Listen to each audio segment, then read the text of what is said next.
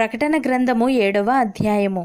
అటు తర్వాత భూమి యొక్క నాలుగు దిక్కులలో నలుగురు దేవదూతలు నిలిచి ఉండి భూమి మీదనైనను సముద్రము మీదనైనను ఏ చెట్టు మీదనైనను గాలి వీచకుండునట్లు భూమి యొక్క నాలుగు దిక్కుల వాయువులను పట్టుకొని ఉండగా చూచితిని. మరియు సజీవుడగు దేవుని ముద్రగల వేరొక దూత సూర్యోదయ దిశ నుండి పైకి వచ్చుట చూచితిని. భూమికిని సముద్రమునకును హాని కలుగజేయుటకై అధికారము పొందిన ఆ నలుగురు దూతలతో ఈ దూత మేము మా దేవుని దాసులను వారి నొసల్లయందు ముద్రించు వరకు భూమికైనను సముద్రమునకైనను చెట్లకైనను హాని చేయవద్దని బిగ్గరగా చెప్పెను. మరియు ముద్రింపబడిన వారి లెక్క చెప్పగా వింటిని. ఇజ్రాయేలీల గోత్రములన్నిటిలో ముద్రింపబడిన వారు లక్షా నలభై నాలుగు వేల మంది. యూదా గోత్రంలో ముద్రింపబడిన వారు పన్నెండు వేల మంది. రూబేను గోత్రములో పన్నెండు వేల మంది. గాదు గోత్రములో పన్నెండు వేల మంది. ఆషేరు గోత్రములో పన్నెండు వేల మంది. నఫ్తాలి గోత్రములో పన్నెండు వేల మంది. మనష్య గోత్రంలో పన్నెండు వేల మంది. షిమ్యోను గోత్రములో పన్నెండు వేల మంది లేవి గోత్రములో పన్నెండు వేల మంది ఇషాకారు గోత్రములో పన్నెండు వేల మంది జబూలును గోత్రములో పన్నెండు వేల మంది యోసేపు గోత్రములో పన్నెండు వేల మంది బెన్యామీను గోత్రములో పన్నెండు వేల మంది ముద్రింపబడిరి.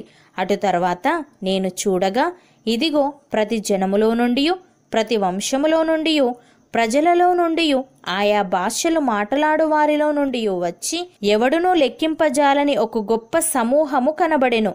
వారు తెల్లని వస్త్రములు ధరించుకున్న వారై ఖర్జూరపు మట్టలు చేత పట్టుకొని సింహాసనం ఎదుటను గొర్రెపిల్ల ఎదుటను నిలవబడి సింహాసనాసీనుడైన మా దేవునికిని గొర్రెపిల్లకును మా రక్షణకై స్తోత్రమని మహాశబ్దముతో ఎలుగెత్తి చెప్పిరి.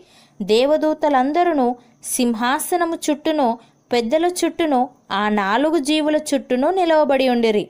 వారు సింహాసనం ఎదుట సాష్టాంగపడి ఆమెన్ యుగయుగముల వరకు మా దేవునికి స్తోత్రమును మహిమయు జ్ఞానమును కృతజ్ఞతాస్థుతియు ఘనతయు శక్తియు బలమును కలుగునుగాక అని చెప్పుచు దేవునికి నమస్కారము చేసిరి. ఆమెన్. పెద్దలలో ఒకడు తెల్లని వస్త్రములు ధరించుకొని ఉన్న వీరెవరు? ఎక్కడి నుండి వచ్చిరని నన్ను అడిగాను. అందుకు నేను అయ్యా నీకే తెలియననగా అతడు ఈలాగు నాతో చెప్పెను. వీరు మహాశ్రమల నుండి వచ్చినవారు. గొర్రపిల్ల గొర్రెపిల్ల రక్తములో తమ వస్త్రములను ఉదుగుకొని వాటిని తెలుపు చేసుకొనిరి. అందువలన వారు దేవుని సింహాసనం ఎదుట ఉండి రాత్రింబగళ్ళు ఆయన ఆలయములో ఆయనను సేవించుచున్నారు. సింహాసనాసీనుడైన వాడు తానే తన గుడారము వారి మీద కప్పును. వారికి ఇక మీదట ఆకలి అయినను దాహమైనను ఉండదు.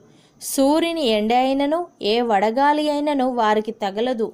ఏలే అనగా సింహాసన మధ్యమందుండు గొర్రెపిల్ల వారికి కాపరి అయి జీవజలముల బుగ్గల యొద్దకు వారిని నడిపించును. దేవుడే వారి కన్నుల నుండి ప్రతి బాష్ప బిందువును తుడిచివేయును.